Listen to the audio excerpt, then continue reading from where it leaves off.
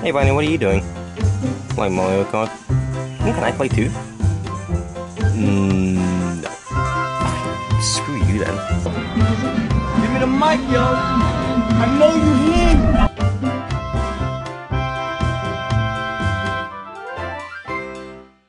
One day, Thomas the Tank Engine was lazing about in the grass. Suddenly, Godzilla's foot appeared.